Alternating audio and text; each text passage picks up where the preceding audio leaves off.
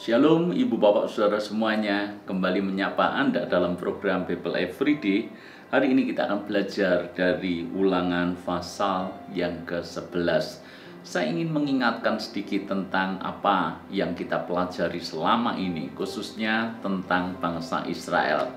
Bangsa Israel bukan hanya sebagai bangsa yang tegar tengkuk Bangsa ini keras kepala, bangsa ini keras hati bangsa ini juga berulang kali berpaling daripada Tuhan dan menyembah dewa-dewa yang lain.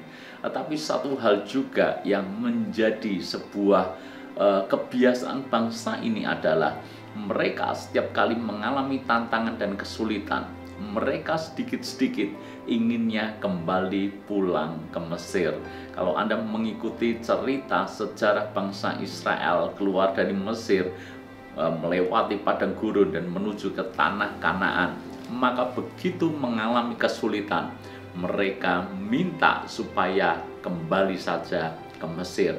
Ketika mereka tidak mendapatkan air di Mara dan mereka melihat bahwa air di Mara itu pahit, mereka bersungut-sungut dan minta kepada Musa untuk kembali ke Mesir. Ketika di Elim mereka tidak mendapatkan makanan, maka mereka berkata, apa tidak ada kuburan di Mesir yang kau membawa kami mati di tempat ini? Lebih baik angkat pemimpin dan kembali pulang ke Mesir. Demikian juga ketika mereka sudah mendekati tanah Kanaan, selangkah lagi mereka masuk ke tanah Kanaan. Mereka bahkan sudah uh, mengutus 12 pengintai. Ketika pengintai ini pulang, 10 pengintai mengabarkan kabar busuk kepada mereka. Dan bagaimana respon mereka? Laki-laki mereka berkata, lebih baik kita mengangkat pemimpin dan kita kembali ke Mesir. Pertanyaan saya, apakah Mesir ini sedemikian baiknya, sedemikian melimpahnya, sedemikian berkatnya, sehingga sedikit-sedikit mereka kembali ke Mesir, ingin pulang ke Mesir.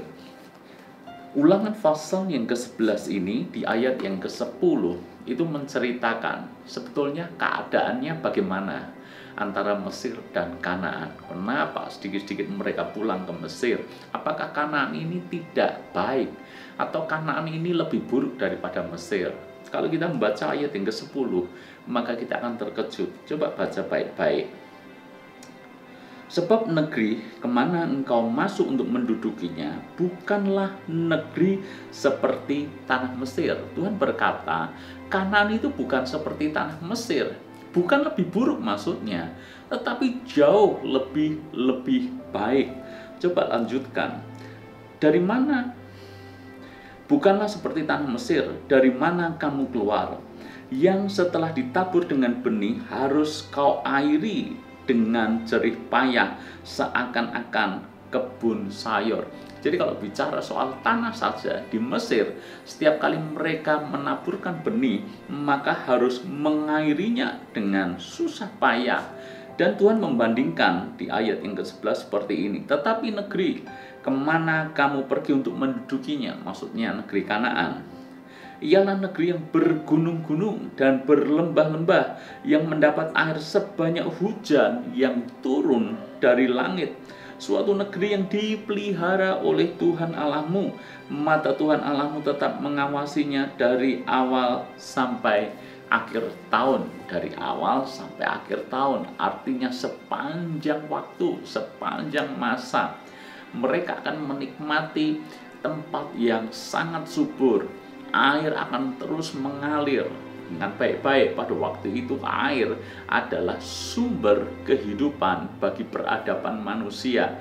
Dan Tuhan sudah menyiapkan sedemikian rupa. Maka tidak heran bahwa tanah kanan itu memang negeri yang penuh dengan berkat negeri yang penuh dengan susu dan madu. Pertanyaannya kalau benar Kanaan ini jauh-jauh dan jauh lebih baik dibandingkan dengan Mesir.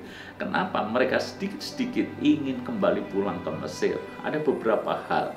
Hal yang pertama, mungkin mereka pernah mengecap sedikit manisnya kehidupan di Mesir, makanya selalu ingin kembali pulang ke Mesir.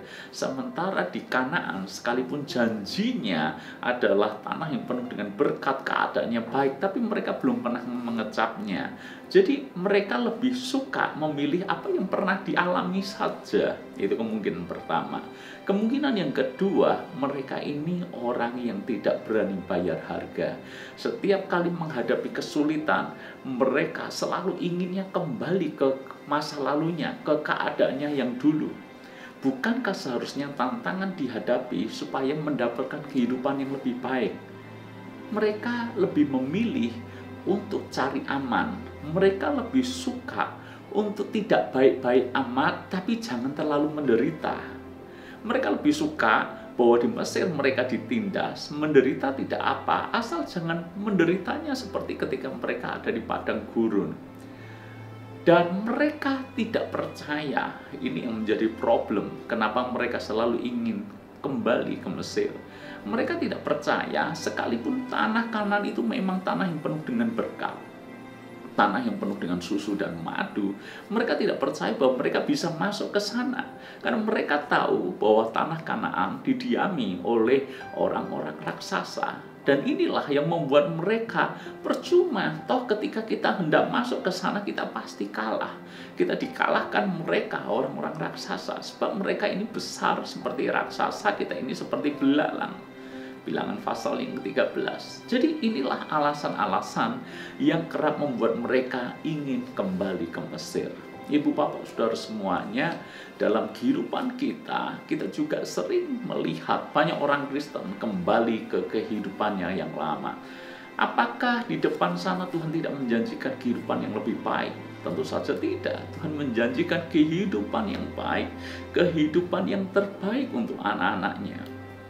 Tapi kenapa banyak orang Kristen pulang kembali ke kehidupan yang lama karena tadi mereka tidak bersedia bayar harganya. Mengikut Yesus memang akan mendapatkan kehidupan yang baik. Tapi jangan lupa bahwa Yesus juga berkata, barang siapa mau mengikut aku, dia harus menyangkal dirinya, memik salibnya, dan mengikut aku. Mereka mungkin inginnya hal yang baik, tapi tidak mau salibnya, tidak mau sangkal dirinya. Mereka ingin kemuliaannya, tapi nggak mau salib yang mereka harus pikul.